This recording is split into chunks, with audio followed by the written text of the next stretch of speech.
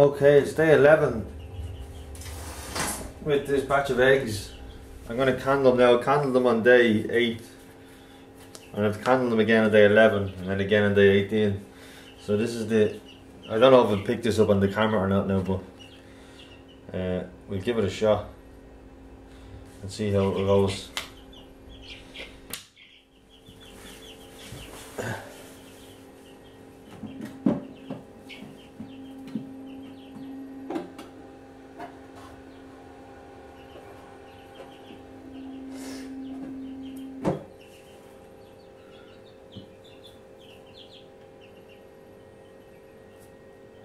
So that one there looks fine.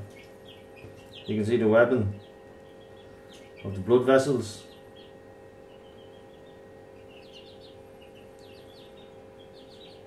Everything there looks okay. There's the head there, the eyeball there or something. So that's cool.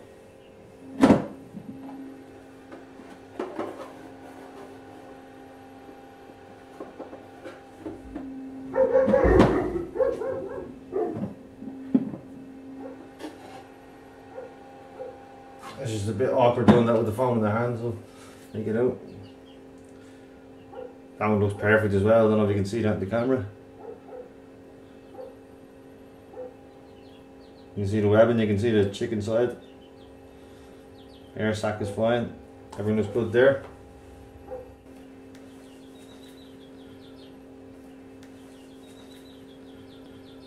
See that? That's perfect.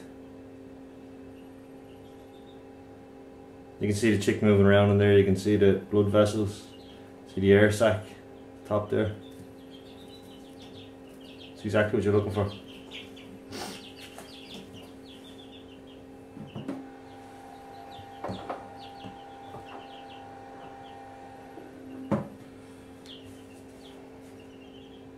Another one, perfect. Look at that. Again, you can see the chick moving around, see the blood vessels, See the air sac. So this is the the Borotto Lumia 8 and I have to say so far so good with it. It seems to be a fantastic incubator. It's fully automatic. I do all I have to do is top up one of the compartments with water. I'll show you now.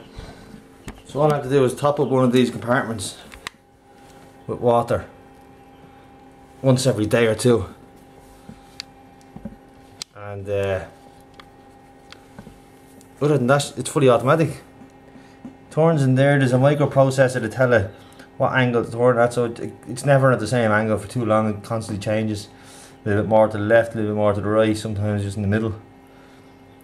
You can adjust it, the uh, temperature obviously, set the temperature and then it has a second reservoir on the side there. So depending on how many reservoirs you fill it gives you the humidity.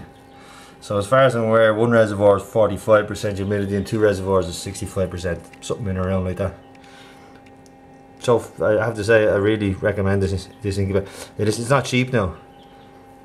But still if it has a high success rate it's, it's worth the money